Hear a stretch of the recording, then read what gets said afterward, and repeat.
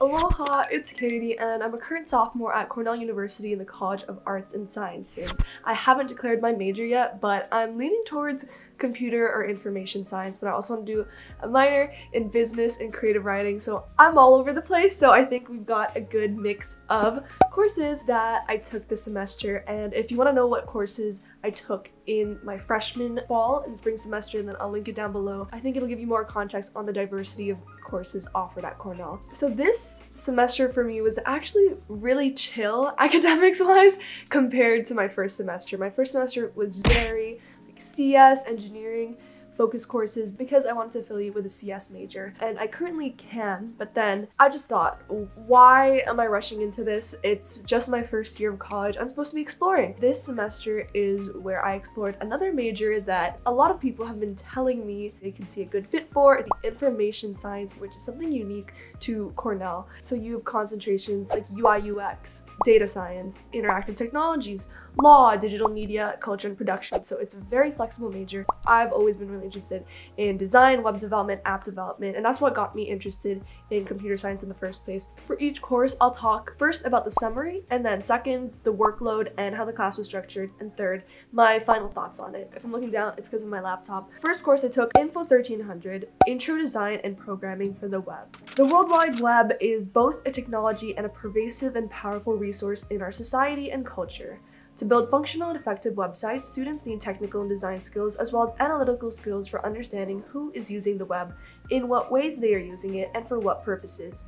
In this course, students develop skills in all three of these areas through the use of technologies such as HTML, cascading style sheets, CSS, and JavaScript. Students study how websites are deployed and used, usability issues on the web, user-centered design, and methods for visual layout and information architecture. Through the web, this course provides an introduction to the interdisciplinary field of information science. So this class meets two times a week. You have one discussion, and discussions are more classroom settings where you meet up with a teacher assistant. They lead the course, they lead some exercise with 15, 20 other students, so this more closely resembles your high school classroom. Lectures are just larger with 200, 300 students, and the professor just talks at you. Workload is we had weekly labs, or we had weekly assignments called labs. Supposedly, you're able to finish it in within the lab discussion time. In terms of tests, the first project we designed a personal website. The second one, we designed a website for Apple Fest, which was a local festival here in Ithaca, New York, where Cornell is.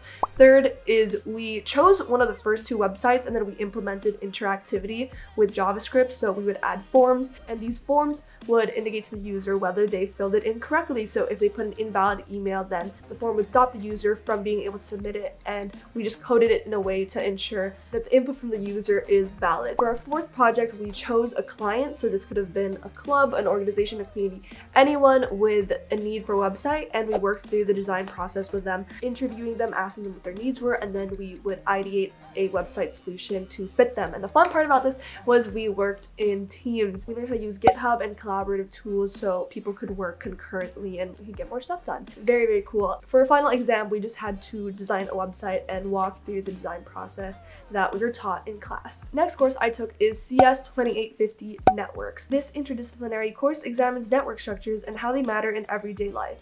This course examines how each of the computing, economic, sociological, and natural worlds are connected and how the structure of these connections affect each of these worlds. Tools of graph theory and game theory are taught and then used to analyze networks. Topics covered include the web, the small world phenomenon, markets, neural networks, contagion, search, and the evolution of networks.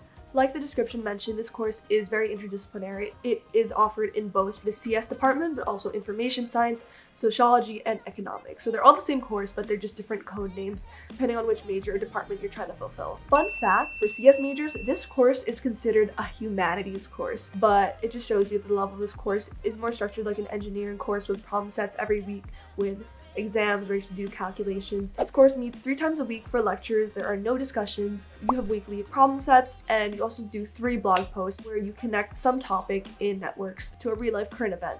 There is one prelim and one final. I also really love this course and I felt like it gave me such a good inside view into the world of the internet. But I guess as someone who has a personal brand, online, it was really cool to understand how Twitter determined which ads it would show to users, and that was through auctions. And that's something I would always see on, you know, like when I monetize my videos, it's something I would see that they're determined by auctions, but I never knew what that meant. But now I understand how the auctions work and why they use that kind of auction to determine it. Just look it up, like Twitter ad auctions, and you'll be eye-opened. I also learned how Google ranked its website. So, you know, the page rank algorithm and how it's determined, and I've seen it work. Fun side story. So sometimes I'll randomly look up Katie Tracy and I know, oh my gosh, it sounds really vain, but I'm just curious. I'm just curious if people search and what people search and almost I don't know, like the number one thing that pops up is Katie Tracy Cornell LinkedIn. Add me on LinkedIn, by the way, it's it's Katie Tracy. This class is twice a week for lecture and once for discussion. There's weekly homework, two prelims, and one final. Overall, I took this class with Professor Packard and I was shook by how nice he was.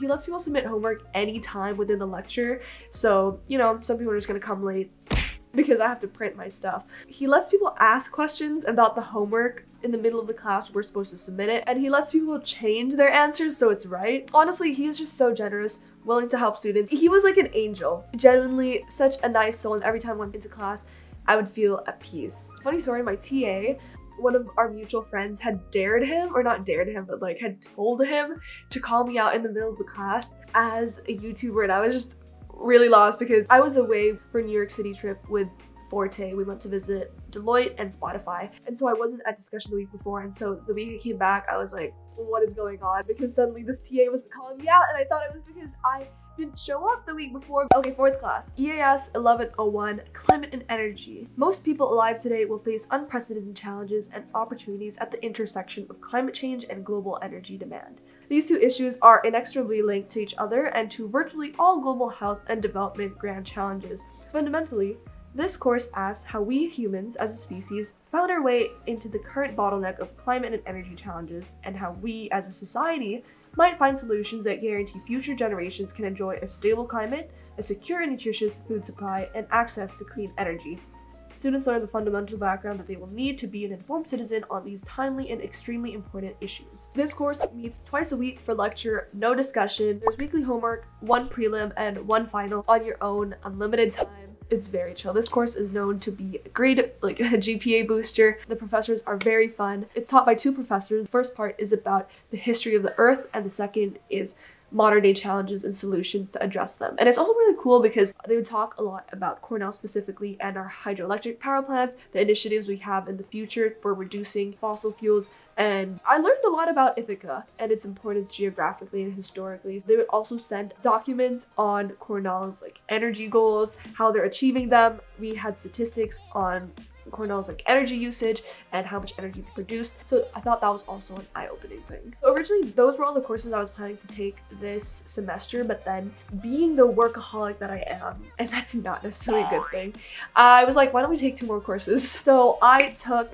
AppDev's Intro to Product Design. Side note, AppDev is a project team at Cornell. It's a lot to explain, so just look up project teams. Intro to Digital Product Design is a course for anyone interested in UI UX and product design careers in digital experiences. We move through an intensive workflow of an entire design process that you'd most likely see in design-driven companies like Airbnb, Facebook, Google, and more. In this course, you will learn how to ideate solutions for existing applications and execute thoughtful solutions with Sketch, prototyping tools, and origami. This course meets once a week for lecture. There is one discussion section, but it's really called Crit Group for critique group and we get small groups think of like three other people we have a TA and every week you give each other feedback on your current design for whatever app you choose I did mine on Spotify and I'll link my case study down below. Intern, intern right here. There were weekly assignments and every week would build up a part of your case study until the end you would end up with your final product. This is a legit industry level course and there have been people who have never taken a design course before, totally different majors like chemistry, and then they take this course and then they become product designers. So it could be a very transformative course to take. My friends are in it, so plugging this course, but it's really well structured. Side note, if you do take this course, they ask, how did you hear about this course? Mention me because it will reach people who I actually know. Also, if you are a college student looking for internships in design, there's actually a really helpful website called interns.design. The design lead of AppDev actually created, and I was talking to someone here in the Philippines who went to UBC, and she was talking about how she used that site. I will also link that down below. Last course, FDSC 1101, Science and Technology of Foods. This class is also known as the ice cream class because the main project is creating your own ice cream flavor. I got to go to the Cornell Dairy Bar, land, and produce this ice cream. I got to take home a free pint of ice cream at the end of it that I had created with my team, and we got to eat a lot of free samples in class. This course explores the application of science and technology to foods. Lectures elucidate the role of engineering, biotechnology, chemistry, biochemistry, nutrition, toxicology, and microbiology in supplying the world with safe and nutritious food. An overview of food science as a discipline and career choice is given. And yo, the winner of the ice cream project, by the way, will actually have their ice cream produced and sold at the Cornell Dairy Bar for a semester or two. Like we actually came up with pricing models for these. But yeah, this course is a very good introduction to food science. It's only one credit. I think it's the major requirement if you're interested in majoring food science. It's so chill though You meet once a week for lecture. There's no discussion. There are weekly quizzes and there is one final, but they're again take home like the environmental science class earlier. But this really opened my eyes to so many aspects. We went from world hunger to food packaging to diseases to kosher and halal food. So it just covered everything from the production process, but also the cultural aspect and the global challenge aspect. It was just always something new every class and I really enjoyed it. But the energy was just so different to all my other classes because I think freshmen when they come to college they're still like very enthusiastic very there's like a lot of love for learning and you know the hardships of college haven't hit them yet. So it reminded me a lot of when I was a freshman. It was good because it reminded me how learning should be exciting. I really felt the difference that people were generally engaged with the class. The professor was hilarious and super friendly. Such a nice break from all my other classes. I really felt the love for learning again, I would recommend taking this with your friends. Those were all the courses I took this semester. If you enjoyed it, give it a thumbs up. Make sure to check out my other ones. Down below, I also have all the helpful links I mentioned in the description. Follow me on social media at alohakatiex. I am going to try my social media again. I'm also hosting an Instax mini Polaroid giveaway on my Instagram and Twitter, so check those out. I upload new videos every week. Please subscribe. I am hustling as a student, and 2020 has a lot of good stuff in store that I have been thinking about while I've been retreating from social media. But I'm back now. Happy New Year, and best of luck with college this year. So see you next week with another new video. Bye!